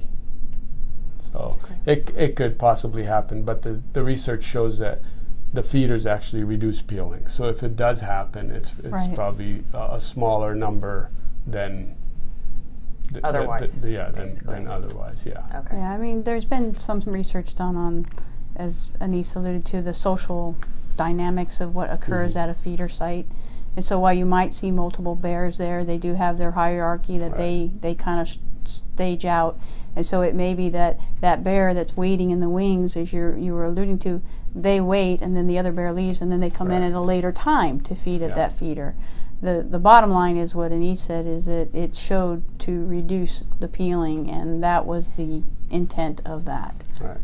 So It's it's a, it's a lot easier for a bear to wait until the bear that's dominating the feeder leaves than it is to peel because peeling is, is time intensive and they're so if they know there's a ready source of food they're more likely going to wait and, and wait their turn I guess. Really? Yeah. They wait their turn. Yeah I mean if you've, if you know I'm- those of us that have worked around bears, you know, have seen the dynamics that happen. A big bear on, on a carcass or whatever, you know, it- they're usually the only bear mm-hmm. there, a big male bear. There is not going to be a, a female or cubs coming near that because that male is going to kill the cubs to mate with the female. So, so it's usually their carcass, and then when they leave, I mean, they can only eat and gorge for so long, and then they have to go lay down somewhere, and then the other bears come in and, and, and So there's been some evidence for at least a shift in the pattern. yeah, Like maybe this bear used to come through at one o'clock in the afternoon, but now Yeah. there's a dominant individual there, so now he's coming through at three o'clock in the afternoon. and there's multiple feeders, so Yeah. I mean, and they have a very good nose. If they know there's a big bear on one feeder, they're going to go find the next feeder that's available. Sure. Bears just can't be a, a big bear can't be everywhere at the same time, so they're not going to exclude other bears from all feeders. It's just the, the density is not that high, so I mean, there's just only so many bears in a wood lot. But you guys don't know exactly where the barrels are, so how do you know that that's not? You know what I mean? How do you know that it's not? Well, we, we know they're putting enough barrels out there to keep bears from peeling. I mean, so that it, I mean, th- it makes sense for them to, to do it in a way that's reducing peeling. Which, I mean, it, so they, they're doing it for the reason to, to reduce peeling. In that, uh, so they're not doing it for any other reason. I guess is what I'm saying. Why would they put barrels out to to promote bears to peel? You know what I mean? Yeah. So I don't know. Yeah, me. You tell me. Uh, yeah, it makes no sense, and that's why it wouldn't concern us. I mean, They the wouldn't go reason- through all that yeah, expense and that It's, trouble a, it's not a, it's If it not were- a if cheap it were way to do it. increasing- Yeah, peel. It's not so it has some effect. they're a business. They're trying to be cost effective. I know when you were saying like you were gonna, you're working on the whole like barrel location stuff, but mm-hmm. why not just demand that they give you the information? Why why can't you just force them to give you the barrel information? What's what's the challenge there? So it's their program. The feeding program is the, the supplemental feeding program is not our program. And I- it's it's their program, and so it's their proprietary rights to that. There are other concerns, though. I mean, if they provide us those locations, then you know they are susceptible to public disclosure, And through that public disclosure process, there may be opportunities for folks to then go out to these sites, remove bears that we wouldn't want to have removed at these locations. There are concerns about, you know, they have concerns about who's on their property and w- when are they on their property and So people trespassing because they know there's a barrel and then what, or they want to go see a bear. I want to go see a bear. So yeah, so they go and trespass on the property. And there's, there's a variety of reasons why. And you know, it's easier for us to kind of just work one on one with each of the foresters Right. And our conflict staff building that relationship so that they know where those feeders the feeders don't you know necessarily stay the whole season either they're sometimes they are moved out of an area because they've not seen the damage occurring and and so the next year it's somewhere else And the, and the location of the beaver is only of a value to us for first, you know, maybe Public safety or- season, yeah. safety reasons. And if we're going into an area, we'll call them and say, hey, where are the where are the feeders that we should be worried about, and they would tell us. So it's not. Uh, th- we don't need to know where every feeder is on the place. It, that information is really not of a value to us. We, it's, it's not changing how we manage things. So just for us to have that information really isn't. the value of it is hey you've submitted a permit for damage in this area do you have a feeder in that area and we ask that up front and if they say yes then we know our staff needs to contact them to say where is this feeder because i'm going to go inspect this area to make sure you know to, to verify the damage Yeah. and so then that's where that comes in Well, and then obviously, like you were saying, if they're going to hunt there, you want that thing removed. Right. exactly right Exactly. So, I mean, and so and so that was those are changes that made that came out of that you're asking about changes that came out of the Yeah. the advice or the group Right. that was what came out of that committee. Things like that. We need to know where they are as we're going on the landscape. Uh-huh. And as we run into things that you know just don't seem like they're working, we we're gonna hopefully Mm-hmm.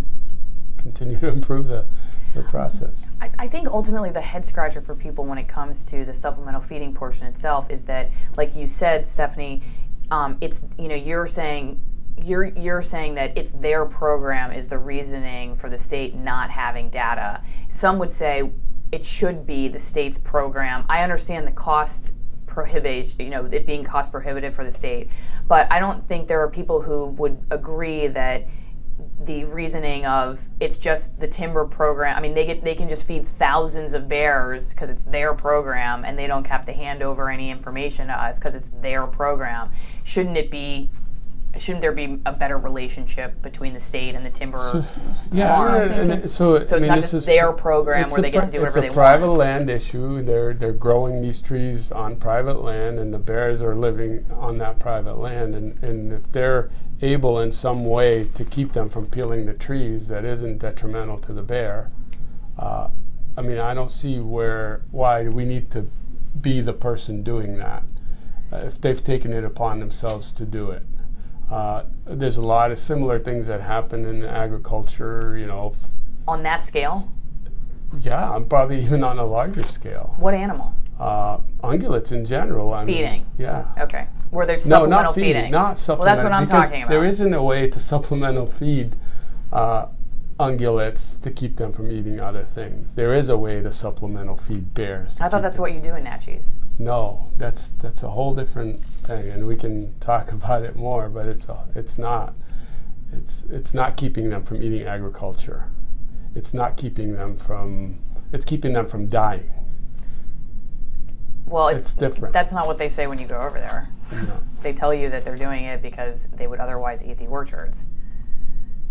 And, and there may be some of that going on. You know, it's in that area maybe the orchards are, are a big deal. I, I don't know. I mean, it's just uh, usually if you want to maintain a big population of ungulates, and there are, I guess, I, I guess I didn't realize where exactly what you were talking about as far as most places that where we feed ungulates is to basically in winter when when there's limited food resources. If there are orchards nearby, obviously they'll go and browse on those. But uh, You're saying because of farmland, there's no Right, natural food source for them anymore. yeah. And you're Right. feeding them to keep them alive. Okay. exactly. Well, it's not because of farmland. That's part of it, but it's it could be a of it. hard it's winter. because a lot of Okay. things. Yeah. you know, there's a variety of things. And you want them around so people can harvest them later, basically. Yeah, you're maintaining a, a, population base that has plenty of summer range. So there's Yeah. plenty of summer Yeah. habitat. Yeah. They're just limited on winter range. It's not. That's almost the inverse of bears. I guess still, if you, you don't see uh, that feeding any wild animal on this scale, um, you don't. I mean, you don't think that that should be something the state says we know a little bit.